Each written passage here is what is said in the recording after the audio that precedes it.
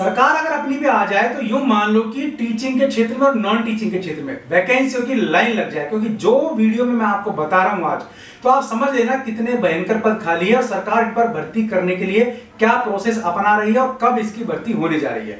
तो यहाँ बात कर रहा हूँ मैं यूनिवर्सिटी लेवल पर, विश्वविद्यालय स्तर पर भर्ती की। तो सीधी सी बात है असिस्टेंट प्रोफेसर प्रोफेसर लेवल की, व्याख्याता लेवल की भर्ती है ये, और मामला जुड़ा हुआ है सेंट्रल गवर्नमेंट यानी कि सेंट्रल यूनिवर्सिटी से। अब सेंट्रल यूनिवर्सिटी की ब्रांच हर स्टेट में उनमें कितने पद खाली हैं और कितने पद टीचिंग के, कितने पद नॉन टीचिंग के। और सरकार इन पर भर्ती कब से करने जा रही है, सारी डिटेल आपको वीडियो में बताऊँगा। स्वागत है आपका यूट्यूब चैनल कंपटीशन बॉस पर और मैं हूँ आपका दोस्त नीतीश। तो बात कर रहे हैं सीधे सीधे सेंट्रल यूनिवर्सिटी की, ठीक है ना, केंद्रीय विश्वविद्यालय की।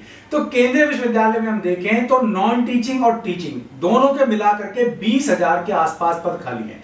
यानी कि साढ़े छह हज़ार के आसपास पद तो हैं टीचिंग में, जिसमें आपके प्रोफेसर असिस्टेंट प्रोफेसर लेक्चरर्स ये पद खाली है। इसके अलावा बारह हज़ार, साढ़े बारह हज़ार के आसपास जो पद खाली है, वो है नॉन टीचिंग के। तो इस प्रकार देखें तो बीस हज़ार पद तो यही खाली है। अब इसके अलावा इग्नू की बात कर लेते हैं। इग्नू में हम बात करें तो टीचिंग के एक सौ अट्ठानवे पद खाली है 198 और अगर बात करें नॉन टीचिंग के इग्नू में तो भाई यहाँ 1235 पद खाली हैं। तो ये भी बहुत बड़ी संख्या है, केवल इग्नू की बता तो अब देख लेते हैं किस स्टेट में सेंट्रल यूनिवर्सिटी में कितने पद खाली हैं और सरकार इन पर भर्ती कब कर रही है। तो यहाँ देख लेते हैं कि जिन विश्वविद्यालयों में सबसे ज़्यादा अधिक पद खाली है, उनका एक टेबल आप देखिए। तो यहाँ यूनिवर्सिटी ऑफ़ दिल्ली। तो यूनिवर्सिटी ऑफ़ दिल्ली की बात करें तो यहाँ टीचिंग के आठ सौ छियालीस पद खाली है। और ये सबसे ज़्यादा संख्या है टीचिंग के पदों की। और नॉन टीचिंग की बात करें तो दो हज़ार दो सौ उनसठ पद खाली है नॉन टीचिंग के। यूनिवर्सिटी ऑफ़ दिल्ली की बात कर रहा हूँ। अब बात करें यूनिवर्सिटी ऑफ़ इलाहाबाद की। अब उत्तर प्रदेश के भाई बहन देखें कि यहाँ टीचिंग के पद, यानी कि असिस्टेंट प्रोफेसर के पद पाँच खाली हैं और 620 पद हैं नॉन टीचिंग के, जिसमें एलडीसी यूडीसी और भी पद आ जाते हैं। अब देखें बनारस हिंदू विश्वविद्यालय की तो ये भी यूपी के भाई देखें तो 422 पद यहाँ टीचिंग के हैं और तीन हज़ार बड़ी तादाद में पद यहाँ नॉन टीचिंग के हैं।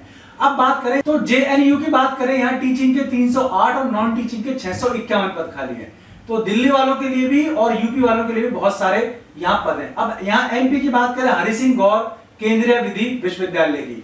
तो यहाँ 227 पद और 328 पद। 227 यहाँ आपके टीचिंग के और नॉन टीचिंग के 328 पद खाली। तो कुल देखिए तो टीचिंग की हम बात करें 6136 पद हैं और नॉन टीचिंग के पद हैं 13706 तो कुल मिलाकर के 20000 से अधिक पद हुए सेंट्रल यूनिवर्सिटी में। अब अगर सरकार चाहे तो इन पदों पर भर्ती कर सकती है और बेरोजगार भाई बहनों को बहुत बड़ी राहत दे सकती है। जब छुटमुट छुटमुट भर्ती की जाती है तो स्टेमिना कम हो जाता है क्योंकि पद होते हैं कम और फाइटिंग बहुत ज़्यादा होती है।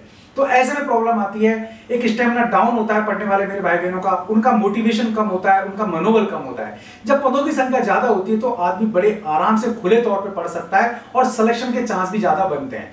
तो पद लगातार बढ़ते रहते हैं, सरकार भर्ती करती नहीं है और संविदा पर भर्ती करे जा रही है। कुल मिला के भविष्य बर्बाद करने की दिशा में संविदा भर्तियाँ हैं। सरकार वहाँ तो लगातार कर रही है रेगुलर भर्ती को नहीं कर रही है।